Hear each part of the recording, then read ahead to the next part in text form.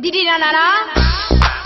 Ikaw ang binibini na ninanais ko Binibining marikit na dalangin ko Hello, hello mga moms! Welcome back to my channel, Moms Kitten Vlogs. Another video and don't forget to like and subscribe. Thank you for watching! Hello everyone! So, welcome back to my channel. So, magmo-morning routine tayo. Ito ang morning routine ng kagaya ko nag nagagamot ng pimples. Ayan. So, pakita ko sa inyo yung mga pimples ko. Ayan siya.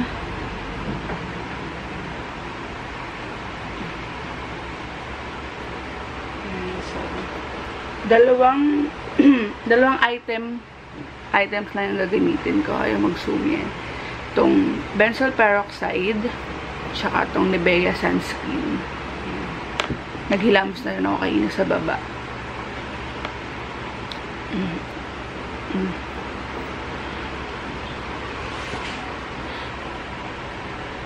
Kaya, means, ay, ano ba yan? Ba't ayaw mag-zoom? Yan. Kaya minsan nakakatamad din lumabas ngayon kasi 'di ba paglalabas ka kailangan naka-face mask ka. So, pag nagpe-face mask ako pag uwi ko tapos nagalis ako ng face mask lalo silang namumula. So, kaya iniwasan kong lumabas muna ngayon.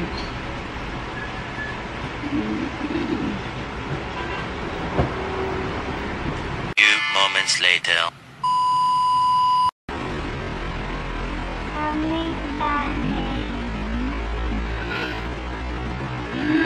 Ano ba yan?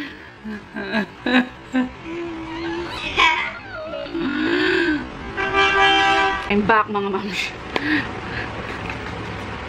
Nagpupulang yung aking bebeng. Ayan, so. Balik tayo sa ginagawa natin. Excuse me. Ayan, so.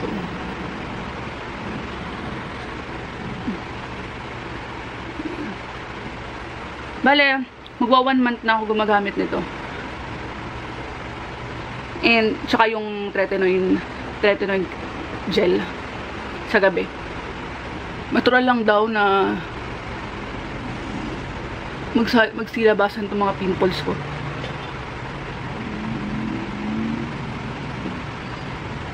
Ayan. Sobrang dami dito sa side na to, as in. Malalaki pa. Ayan. Parang napadami na ilagay ko. Ito ba? Saan naman? And super, asan na ba yung takip dito? And super, ano na siya mga moms?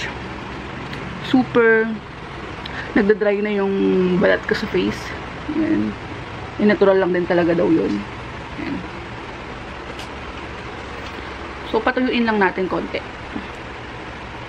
Ayan,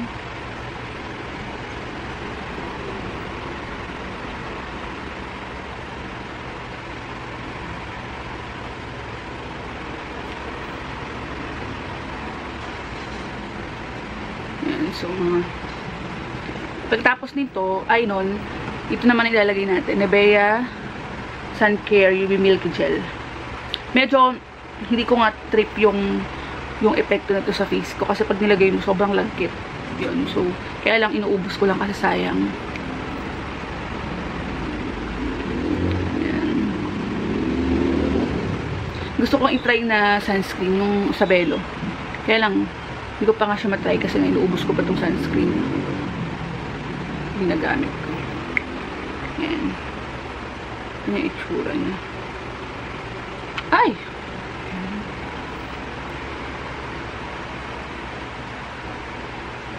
sobrang lagkit nito sa face.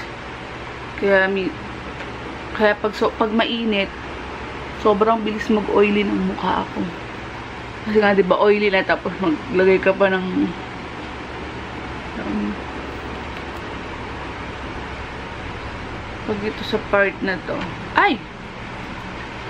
Hindi ko masyado kinukuskus. Ganyan lang.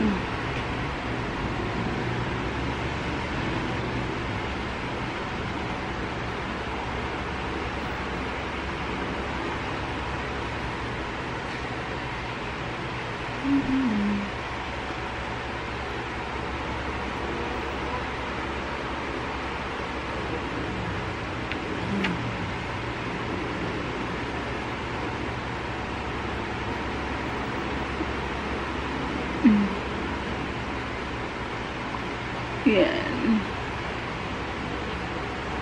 Ayan, mga. Okay na.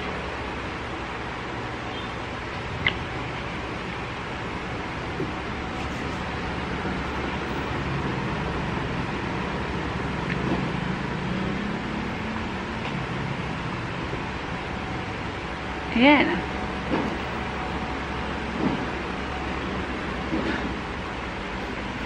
Ayan. So, ganito na ako maghapon.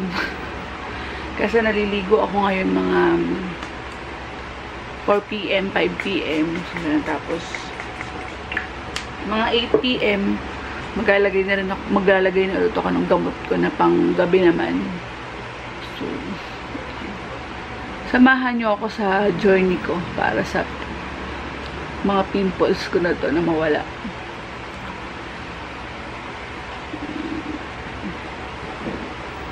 Hindi ako masyadong, hindi rin ako masyadong nag uh, si selfie ngayon. Kasi nag-post ako sa Facebook. Alam mo yun yung mga tao parang nangyari sa mukha mo nangyari sa mukha mo. Wala di ba kayo nakita ng pimples? Hindi ba alam ang, hindi ba alam na nagka-pimple? Kailangan pang itanong nangyari sa mukha mo.